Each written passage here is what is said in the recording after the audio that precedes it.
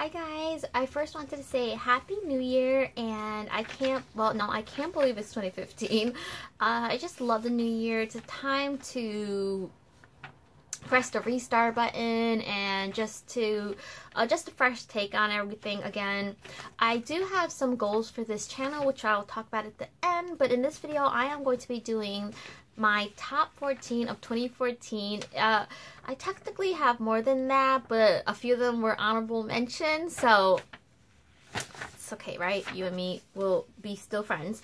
Uh, so see what happens when I try to be funny. It just doesn't work out. Okay, so I have mentioned this several times. I keep I kept a running list and I will continue to do that for this year as well. Uh, just of things that I bought in 2015, 2014 and I put stars next to the things that I really like.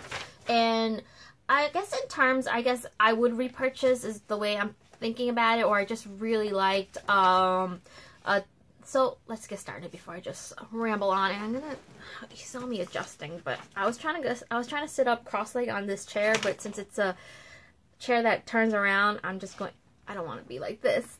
Okay, so the first product is the Olay Complete All Day Moisturizer with sunscreen, blood, blood, broad spectrum SPF 15, sensitive, and at first at first I thought I wasn't going to like this because of the consistency. It kind of looked like it wasn't gonna I don't know what I thought, but I really do like this. It melts into the skin and I don't have to wait long for it to absorb into the skin, which is really important for me. I am one, this is all personal preference, I am one that does not like their moisturizer to lay on top of the skin. I like it to sink in right away. I don't really like oily base products because of that reason. I just, I don't know, for some reason, I just don't like that feeling. So this does not do that. And plus it's for sensitive skin, which if you've been with me, you know I have very sensitive skin. So a plus in my book and I would definitely recommend uh, getting that. Next is the foundation and oh I have tried to apply as much product as I can in this video without overdoing it uh, with my favorites of the year. Oh and in regards to that as well, I some of you uh, some of these products are not did not come out this year. Probably most of these products did not come out this year. It's things that are new to me, which you guys are smart. I guess I didn't need to say that. But the foundation that is my favorite is the CoverGirl Plus Olay Simply Ageless in Classic Beige. Perfect color match. I have that on and I feel like it you know, it was one of those products where I got it, I loved it, but it it got put to the side, got got put into the makeup graveyard, and I really do like this foundation. If you have really bad skin or I guess I shouldn't say that. If you have hyperpigmentation or just a lot to cover, this just does an amazing job and I'm going to try to put in an image of me applying this, although you can't really see it in the lighting. You know what? Sorry. I didn't mean to get your hopes up. I'm not going to do that. Uh, but this is how it looks. Um, it's swirled with white, but of course when you mix everything together, um, it doesn't look as pretty. But that is the coverage. It's just so creamy and I absolutely love this product. It's really, really nice and gives a lot of coverage. I feel like I could get away with two layers of this. No concealer. I have a lot to cover uh, there's actually a lot of hyperpigmentation in this area right there, so I felt like it did a really good job of that. Uh, you know what I will do? Which you have will have been seeing this by then. I'm going to take half of my makeup off so you can see the foundation, uh, one side without the foundation. Next is the NYX Stay Matte but not flat, not flat powder foundation. Uh, I got I have the color natural, and so that's how it looks in the pan. And you do, oh, this feels amazing. It's like butter. There is the, I should have put another hand. Oh, well. So I'll, I'll, um, some of you with really good skin might be able to pull this off wearing it by, by just by itself. I like to apply foundation and also put a powder foundation on top or a powder with color as just I feel like I need the extra coverage. This is also what I have on and my skin definitely does not look flat. I think that's what everyone says, but it's true. This is a really nice powder, and I would definitely repurchase. Yes, I'm going to try to stop saying that. Next is the e.l.f. blush palette. This one is in dark. Now, e.l.f. has dark and light. I would definitely purchase the light, even though I haven't really seen uh, swatches of it or uh, seen it on anyone because I love this one so much. This is probably my favorite product of the year. And I just was so pleasantly surprised by this palette. I it's no it's I have said I don't like elf the ones in the reg the rectangular compact I don't like those blushes I just feel like they're really powdery and not very pigmented I also find that this palette I think people with richer skin tones would appreciate this one because you could build these up. Now I have the color this one right here on my cheeks. And as you can see as you can see it's not so crazy but it could be built up. And you know what? I'm gonna put a little bit more color because I feel like you can't see it very well. So I'm gonna just you see that? You, and I would recommend not this type of brush actually. I would recommend a blush a brush like the I'll just show you this type of brush that doesn't pick up a lot of product, really moves around.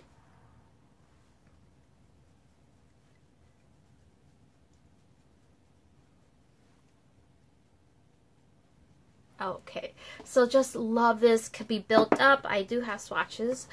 Uh, so look at how pigmented those are. And these three are matte, and then this one has some sparkle to it. And it does have some glitter in there but I, I feel like if as long as you blend it out well you're not gonna look like a clown these are just so buttery and I really, really love this. Next product should be of no surprise to any of you. They are the Maybelline Color Tattoos. I picked out four that were probably my favorites of the year. And uh, on my eyes, I am wearing, I first applied Rich Mahogany which was a limit from a limited edition collection a while ago. If you really like this color, the one that's from the leather collection called Chocolate Suede, exact same color. So you are still able to get it. I actually have both of them and I was like, wow, they look really similar. Uh, the leather collection I believe is supposed to be kind of all matte, but that chocolate suede, once you take off the top layer, uh, it's very shimmery. So this is what I applied. Then I applied back to the bronze, which is such a gorgeous color. And then on the lip, the sorry, on as eyeliner, I applied Dramatic Black. I didn't use Creamy Beige, but that is a really nice color. For someone who has oily lids, like me, it's very hard to find a product that will not break down. I have a very difficult time finding products like that and I absolutely love these. They're pigmented. They're just, the only downside is they do dry out because they are a cream product, but I just absolutely love these and am glad that I really gave them a chance. I had bought a bunch of these and I just never really tried them. I liked them enough, but then my eyes started to get really oily and I was I'm so glad that I found these. Uh, next are an eyeliner from, the, I have several of these. They're all the same. They're the Jordana 12 Hour Made to Last Liquid Eyeliner Pencil. They're not the jumbo ones. Uh, these are the liquid eyeliner pencils. And I guess if I had to have a YouTuber of the year, it would be Kristin Gehm. You know when you like when you know you like a YouTuber is when you can't wait for their next video. I just really love her personality and uh, she just seems really nice and genuine and I just I love to watch her. She had mentioned these. She has oily lids as well, and she had mentioned these that they worked for her. So I tried the black first, and I absolutely love it. But let me show you before I I want to show you how creamy they go on. So the three colors, so there's six colors in all. Uh, they're so inexpensive. I My sister got me the charcoal definition again, which is this gray one right here. That one for 79 cents last week. So very inexpensive. Then there is Jade, Jade Jewel. Now the color ones for some reason have sh some shimmer in it. The green, not as much as the charcoal definition, and then there's purple fix. Uh, the black is matte. I think, I believe the brown is matte. Uh, and I haven't used the brown or the blue. Blue is definitely shimmer. Like I said, the color ones seem to all have some color, which I for me, as a contact lens wearer, I feel like anything with chunks of, and none of them have chunks of glitter, but I can't put it too close to my waterline. And this is the, that's not the black. this is the black. So look at how, oh, I'm going to try it left-handed. So, wow. And it's, I had that on my waterline. It's it stays pretty well not 100% but pretty darn close and I would highly recommend this if you haven't tried it just am in love with these and I wish they came out with more colors please Jordana come out with more colors. Next are some lipsticks and the first is a high-end. It was a, the birthday gift from uh, last year and this is the Makeup Forever. I want to get the Rouge Artist Natural in not N9 and this is the color. It's a rose tea color. I just love it on the lips. It's very hydrating. The color is my lips but better. Uh, I like this so much that I was considering getting the whole the full size but my sister got another one of these and she gave me the lipstick so I don't really have to and plus I have so many um, but this is just a great formula and the color is really nice Okay, next lipstick, the one that I'm wearing is CoverGirl's Euphoria, another product that I got later on in the year, but this color is amazing. Only downside might be is it tastes kind of weird, and that's only initially, I don't know, I seem to have to taste my lipsticks for whatever reason, but this color is just, it's, it's bold, but it's not like whoa, she's wearing a really bright, bold lip. This is just a really pretty color. Uh, it's on more on the pink side. Just gorgeous. And my favorite lipstick is from the L'Oreal Infallible line, the one with the very sexy packaging. I have the color here in Bold Bordeaux, and this is just beautiful. This was when I was on the hunt, uh, and the the one in Euphoria. This was when I was on the hunt for Maybelline's Divine Wine. Uh, this is probably the closest one that I found, but these are just amazing and they're really long lasting. I love these. I picked up two more, which I will show you in a haul uh, that's coming up. Next is Essie Stylenomics. This is just a really dark, dark green, kind of with a little bit of blue, just gorgeous and I just think this is a unique color and have really enjoyed wearing that. Next is a product that caused kind of a controversy in the nail polish world. I didn't really pay too much mind to it, but this is the Push and Shove Duo and you're supposed to apply this base and then apply this and you get this amazingly foiled look and I have tried this this is gorgeous uh, the thing that was controversial I believe was it says that it was only good for one night which uh, I found that you could wear it for a few days. I don't know. Uh, but this is just awesome. And it was limited edition, but you can always look on eBay or uh, Amazon. Sometimes you get lucky. Next are some tools. And I really fell in love with this Real Techniques uh, eye starter kit, I believe it's called. And I use several of these for my eye look today. This one got into a small accident in my purse. It's hollow, so you just, you just have to be a little bit careful when if you do decide to carry these around with you. This brush I use to lay on all the cream eyeshadows. This one, it's a little too big for me to use as a blending brush per se or to lay on product. I like to use this just to clean up this. I just feel like it just does it quickly to clean up uh, any blending problems I might have had. Uh, next is this small brush, really great for precision work right here or to lay down color right in there. Uh, this was probably the only brush from that set that I wasn't particularly fond of, but it does a good job. Uh, this is an eyebrow brush, but I use it to lay down color and to smudge it out. I think it does a really good job for that. That's what I use for the Dramatic Black. So if you're looking for, I'm sure all of you have tried Real Techniques. If you're looking for somewhere to start, this is a really good brush set. I really enjoyed that. And then next is the e.l.f. crease brush. I'm very confused for about e.l.f.'s website. They had a blending brush as well, but that disappeared. Uh, this one disappeared as well. I'm not sure if they have it back on, but if you were able to get this, this is an amazing brush. This just does uh, specific work if you wanted to, or precision work if you wanted to. It lays down color. You could blend out. There's so many things you could do with this brush, and I have enjoyed using that. Next tool is the Sonia Kashuk Brow Groomer. Brow, brow and Eye Groomer.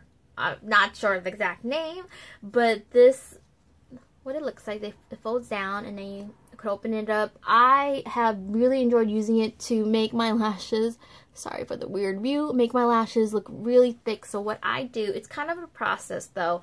Uh, what I do is I apply two coats of mascara. I have to wait for that to dry or else you're going to pull out some eyelashes. Uh, it took some getting used to. I, I knew I was going to like it, but you have to work really slowly. You can't just go like this and expect to have really great separated lashes. You have to wait for the mascara to dry, then pull it through. I I, you know, you one would assume you pull it through this way, but I actually lift up my eye and go downwards. For me, that's just the way that it works best. Uh, I just, I don't know, that's just the way that I like to use it. Um, but I would highly recommend this metal um, I don't know how I did it with, I actually, this was in the wash, this was in the wash, I was washing this and it was drying, and I could have used it because it's metal, but I was using another brow, I'll just show you, I think I have it right here, yeah. I was using this one and it was terrible. Once you go metal, you don't go back. This is just a really great tool. This side hurts like heck. I might have miscalculated the count, so I will just keep it top 14, even though it might not be. Next is the Revlon Color Silk Beautiful Color Hair Dye. I have several of these. You could get them on sale at CVS for two for five bucks, which is an amazing deal for hair dye. Uh, these this hair dye, it's very easy to dye your hair very dark from the drugstore. It's not so easy to go light. You've seen my videos on hair dyes. A lot of them don't work. But I wanted to mention this because, so my hair is black and I just feel like this doesn't fry my hair. Um, it's not brittle, doesn't leave it brittle or feeling stripped or anything. It's I feel like this is a really uh, hair friendly hair dye from the drugstore and I would really recommended if you're trying to go back to your roots or just to a darker color. This is not harsh. It's ammonia free. Uh, and then for the honorable mentions, the first is another e.l.f. product. This is the e.l.f. Waterproof Mascara Top Coat. This is a very interesting product. I felt like it made my lashes grow longer. And another thing that this does is it's it makes your lashes not brittle. You know how some of them can get like really flaky and hard. This does this makes your lashes very soft. So there must be some conditioner in here. I know there's some products in here that are supposed to be very good for your lashes. I call it honorable mention because I probably wouldn't repurchase this again, but I thought it was worth mentioning uh, that it did those couple of things. Um, so there's that. And then we have the these two eye brushes are actually paint brushes but they are amazing. And I actually took a photo of these put it on my phone so I could pick up another set. These are just really great. This is the Squirrelette 305 round. It's the low Loew Cornell natural hair. This is such a small brush. I know Sigma I believe has one but this just if you're looking for a cut to crease look or just really precise work this is amazing uh, this is the Princeton Select Oval Mop. Now, I love small brushes like this for my eye size. I feel like it just lays, it's the perfect size for it. But this one, I, I have several small brushes like this, eyeshadow, eyeshadow brushes like this, but this one, there's just something about it that picks up the color of the eyeshadow and um, just, it's a really great brush. So I recommend that. And the very last product that I am going to be talking about, it was my fail. Uh, fail of the year. This is the Kiss My Face Ginger Mango Lip Balm. And I was really surprised that it was such a fail because I, one of my favorite lip balms that has been discontinued and I didn't realize it was discontinued until I told everybody how much I loved it. And then I went to get another one and it was discontinued. And I did ask company and they sent me, uh, they sent me a reply that was discontinued. Really bummed out. But this just it tasted terrible and just really artificial. I was, like I said, I was surprised because it's all organic and I love the other ones so much. Unless you like artificial ginger mango taste, then I probably, this, don't get it. This was just not good. Okay, so that wraps up my favorites for 2014. I hope you guys enjoyed this. I uh, I am so glad that I kept a running list that I was able to look back on. I highly recommend that. Uh, I know when I did my 2013 favorites, I just included every single favorite and it went on for a long time. I'm not saying this video was short, but uh, at least it was things that are kind of that were kind of relevant. Uh, so as far as this channel, I want to set some goals for myself. Uh, just always to improve and get better, do more editing. Although, you know, I don't have, I don't want to complain. Uh, but I just, I just use the Windows Movie Maker, which is free. And so it's kind of hard to do kind of editing, like super, like great editing. Uh, and I'm going to try to keep my videos a little bit shorter, just give you guys, stick to, uh, I guess, more content, like, speak about the content and don't diverge too much. Uh, maybe do more vlogs and also do more reviews. I hope you guys are all doing well and I wish you a happy, healthy, and prosperous new year. I will talk to you guys soon. Bye.